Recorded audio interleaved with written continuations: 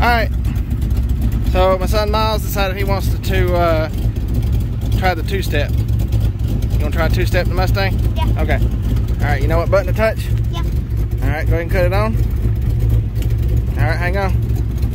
See what it sounds like. I ain't heard it back here yet. Alright, go ahead.